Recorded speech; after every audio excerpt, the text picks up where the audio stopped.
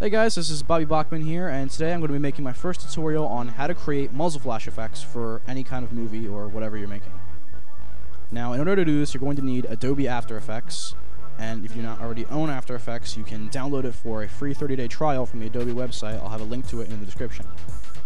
Alright, now let's jump right into it. Now, first off, you obviously need to take footage of yourself or whoever pretending to shoot a gun, like I already have here and you need to find the spot in which you first pull the trigger in which the initial shot will come out as if it were a real gun. Now you need to add the muzzle flash stock footage, whether it be a picture or a video. I prefer using video. Uh, in the description, I'll have a link to detonationfilms.com, which is where I get all my stock footage. It's very good quality stuff, and it's free, which is what's always stood out to me. But if you already have muzzle flashes at your disposal, then it shouldn't be a problem.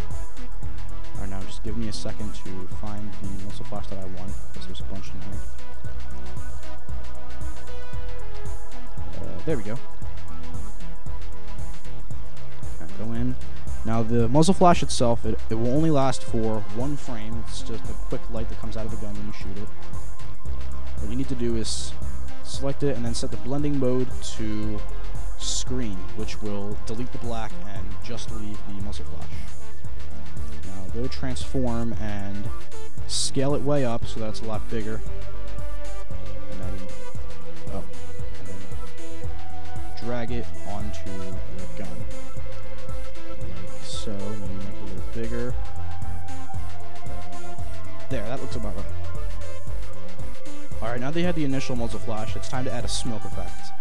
Now, just like with the muzzle flash, there's a couple different ways that you can get smoke. You could record it yourself by using firecrackers or something or you could buy it from a special effects pack like um, like Action Essentials. Um, Detonation Films doesn't really good, have really good smoke, so I created my own using After Effects. I'll have a separate tutorial on that if you want it.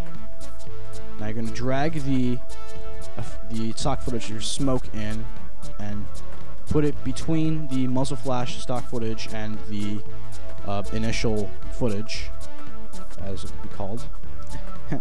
this is not rehearsed and drag it down so it lines up.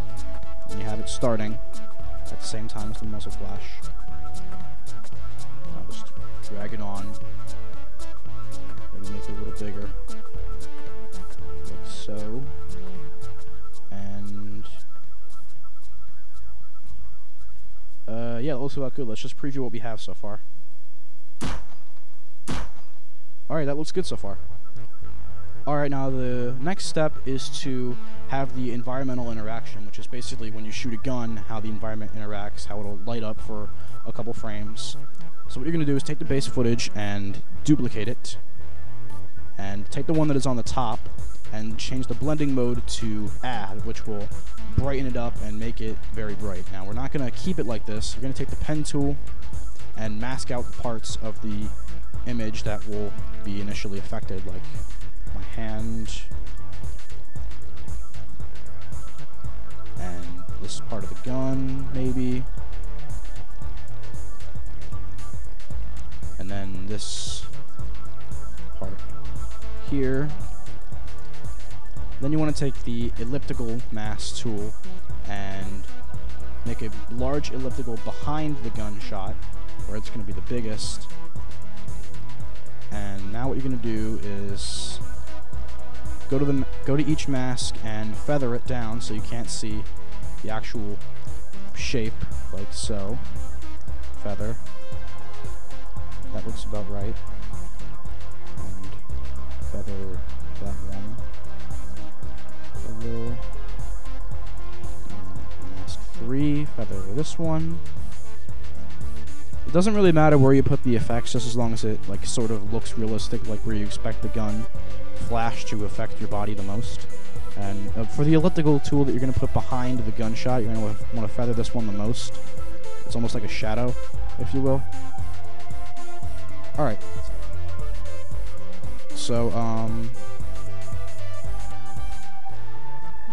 Yeah, and last but not least, just, um, is getting it to fade out. Now, time it up with this so that it, it make it last, like, five-ish, or two frames. I like using two frames and cut it so it lasts two frames.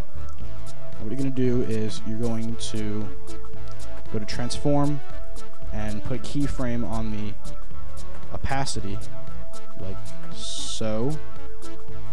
Then go over like two or three frames, whichever you like to use, and bring the opacity down to zero so that it will slowly fade out over the course of two frames, which isn't really slowly, but you get the idea. So yeah, you're basically done at this point.